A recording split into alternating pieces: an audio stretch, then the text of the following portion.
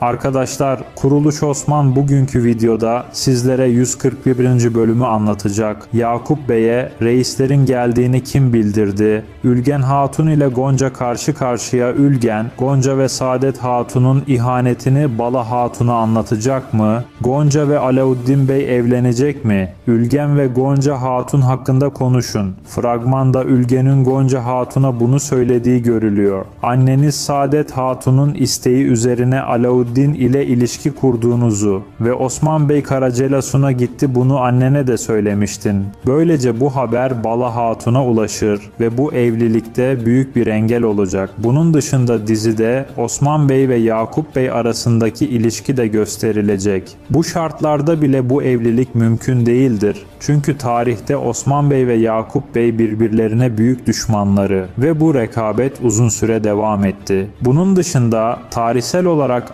Alauddin Gurmianda kabilesinde evli değildi ve ilerleyen süreçte Gonca Hatun rolünün bir şekilde ortadan kalkacağını düşünüyoruz. Yakup Körfezi hakkında konuşun. Son bölümde gördünüz Yakup Bey Osman Bey'in beyleri şehre davet ettiği haberini çoktan almıştı. Daha sonra Yakup Bey sancaksızlar aracılığıyla reislere saldırdı. Birçok kişi Yakup'a bu haberi Cerkutay'ın verdiğini söylüyor. Çünkü Cerkutay Yakup tarafından Osman Bey hakkında casusluk yapması için gönderildi. Ama biz öyle düşünmüyoruz. Cerkutay artık Osman Bey'e ihanet etmeyecek. Şehre gelen beylerden birisinin Yakup Bey'in destekçisi olması mümkündür ve belki de haberi Yakup Bey'e vermiştir ya da Yakup Bey bu haberi başka bir yerden almıştır. Cerkutay'ın artık Osman Bey'in yanında görüleceğini düşünüyoruz.